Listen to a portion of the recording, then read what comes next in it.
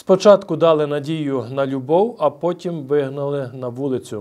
В Івано-Франківську продовжують підкидати тварин до притулку. Серед тих, хто опинився на вулиці, і собаки, які щойно народили. Більше розповість Тетяна Куліковська. Ладочка вона була підкинута під е, притулок в Микитниці з двома е, дітьми. Діти, на жаль, загинули від інфекції. Вона вижила. Вона також була е, вже потім інфікована, вона вижила. Тепер вона ручна. Вона дуже боїться вулиці, вона не хоче виходити, бо вона боїться, що її там покинуть. І таких собак чимало. А ось цю тварину господарі вигнали з дому разом з маленькими цуциками. Женька мамуся була прив'язана е, до біля притулку з дітьми. Було четверо. От. Е, Хлопчика швидко пролаштували, бо маленька порода. Дівчата захворіли на парвовірус.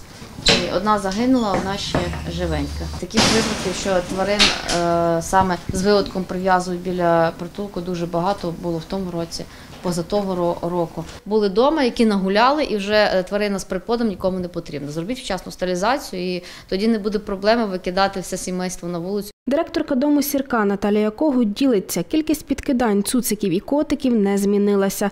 Наразі у притулку близько трьох сотень тварин. І нових беруть лише у випадку смерті господаря. Тварина не винувата, що господар помер, і ми е, намагаємося цю тварину не вести в притулок, а знайти якісь перетримки, щоб е, в тварини не було шоку, тому вона- і так в стресі, коли немає господаря.